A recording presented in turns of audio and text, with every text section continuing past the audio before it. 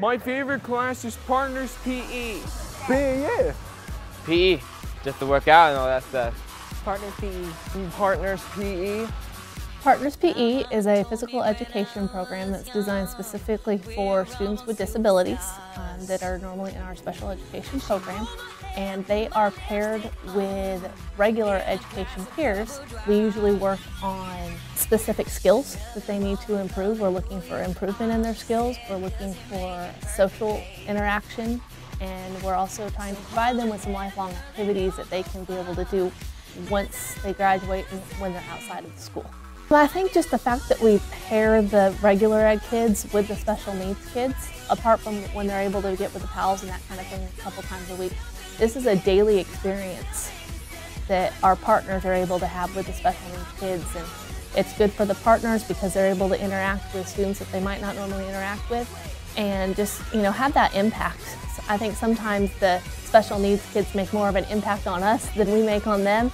And it's good for the um, buddies or the special needs kids because they're seeing role models, they're seeing social, how to do social skills and that kind of thing, and they're being they're in, actually inter, able to interact with their peers, which they aren't normally able to do when they're in their special ed classrooms. Partners have to apply. They fill out an application. We ask a variety of questions about how they feel about working with students with special needs. We ask them to uh, rate themselves in certain areas. We ask, we ask them to give their teachers a survey to fill out and the teachers can also write a letter of recommendation as well.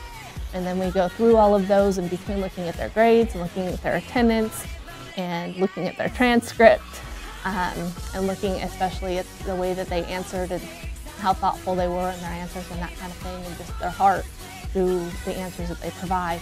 Then we'll go through and we select the top candidates. They have to commit for the full year.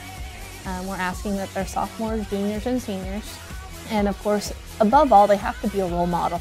So we're looking to make sure that they have good attendance, that they have strong grades. Their character is one that is a character that one of the special needs kids that they can look up to. Partners Meet PE for me was just something I really heard about and it seemed like a really cool opportunity to work with kids with more needs than most and I felt like it was just something I was called to do. My favorite part is that we get to do like we get to like choice day and we get like the kids get to choose like what they want to do which is fun because you get to learn more about them. My favorite part is getting to really know the kids.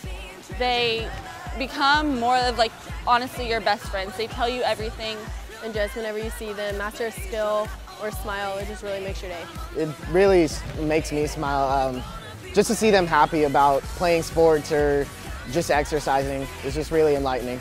We try to touch on all of the sports. We start off in the fall. We started with uh, bocce ball this year, which is what they're trying to make eventually, hopefully, do um, Special Olympics program.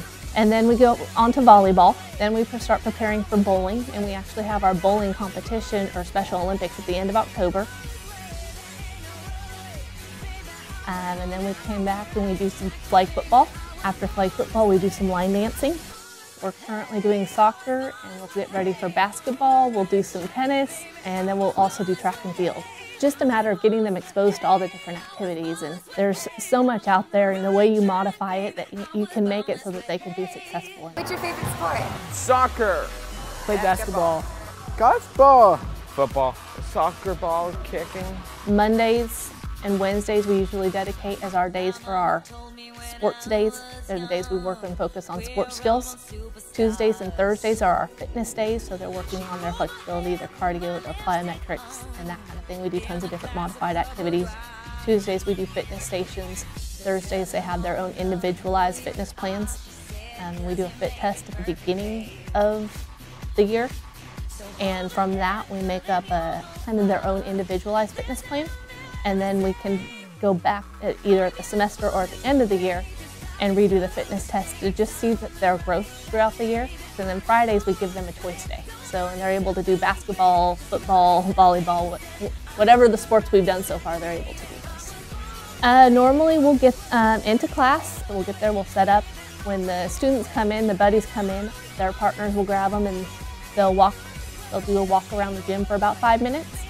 And then we sit down and we stretch And at that, I use that time to be able to make any announcements that we need to be able to make for the day or for the week. And then after we do that, we divide them up into their groups. They will do that about 25 minutes. Sometimes we'll have a time at the end where we will circle together and kind of go over what we did that day, and other times they will line up and then go back to their classroom. When they go to the Special Olympics and you see them able to perform and just the excitement on their faces, just little tiny things. There's not one big, huge accomplishment that you have, as little accomplishments with the special needs kids that you have along the way. One of the most challenging parts is just finding out how to work with the kids because not every kid is the same. The most challenging part is probably just trying to remind yourself to be patient with them because sometimes they have hard days and sometimes they have good days. But no matter what, we need to be a good example for them and we need to have a good day so that they can have a good day. The potential they have is so much higher than what some people believe. I think we have high expectations out of all the kids, the partners and the buddies. And by having those high expectations, you're able to build a program in which you see a lot of success just seeing the improvement, seeing the enthusiasm of these special needs kids, it's, it's amazing to be able to go in there and you're so thankful when you come out.